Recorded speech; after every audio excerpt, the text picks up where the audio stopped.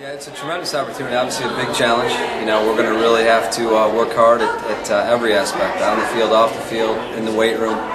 Um, it's, it's uh, you know, from the foundation up, which you don't get that opportunity very often. You know, to have a group of guys to, to build it from basically nothing to, to being a, a top Division One program is going to take great deal of effort from everybody, coaching staff, all the way down. So we're, we're really going to look for uh, you know a great group of guys to, to build this, and, and we're excited about it. So it's, uh, it's day one. Can't be uh, any happier to get this going. Uh, leading up to the program are to have a very successful off season.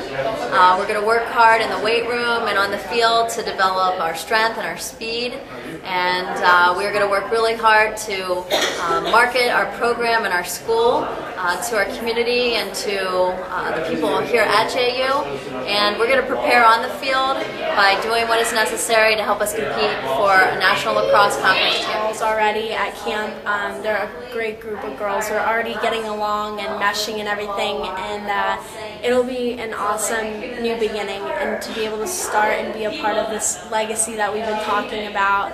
Um, it's just, I think it's incredible and it's a great opportunity, I think, for all of us to kind of come into this, you know, all together and brand new and um, just put, you know, our best foot forward and hope, you know, that we can just go out every time and do our best and um, keep, you know, ourselves with high expectations for each other and keep each other accountable.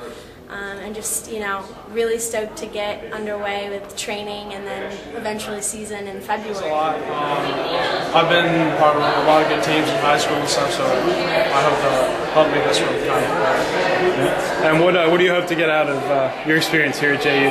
Uh, well, I hope to play four years of lacrosse and have a good time there, and get some, some nice people and have a good time.